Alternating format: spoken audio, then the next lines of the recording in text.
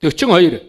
Их майдэр цогцлбор төслийг үндэсний бүтээн байгуулалт болгож зарлах юм зарилгийг гаргасан байгаа гэдгийг энд хэлье гэж бодож байна.